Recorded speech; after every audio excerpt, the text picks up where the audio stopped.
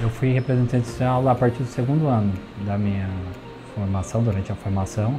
A partir do segundo ano eu já assumi a representação e fiquei até o último ano. Ser representante de sala basicamente é ter um jogo de cintura para poder sincronizar os alunos com os professores e a instituição, né? Com certeza a Toledo proporciona muito espaço, não só para os representantes, acho que aqui gente, todos têm espaço, mas os representantes em especial tem as ouvidorias, a gente tem acesso ao coordenador do curso. A gente é, se sente ouvido, realmente, quando a gente leva alguma reivindicação ou algum, algum elogio, alguma coisa da instituição, a gente sempre é, é, muito bem ouvido.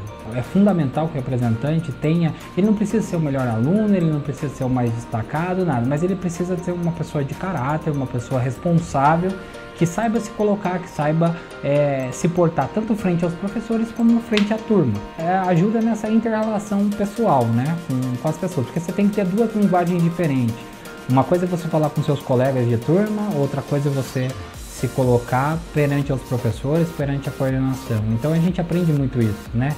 Como se portar frente a essas duas realidades que ah, em princípio são bem distintas e depois elas vão se confundindo, né? No final nós temos é, estudantes se tornando profissionais. Então, no final, a gente já tem uma maturidade, uma coisa que é mais próxima da, da do que a gente vê na institui enquanto instituição e professores. Se você é bem representado, a sua turma é, ganha uma posição de destaque, certo? Na faculdade. Então, eu, eu procuraria isso, uma pessoa que você veja como uma pessoa responsável, como eu disse, não precisa ser o melhor aluno, precisa ser o mais inteligente, o que mais pergunta na sala de aula, o que mais parece integrado às disciplinas. Mas ele precisa ter jogo de cintura, ser competente, responsável.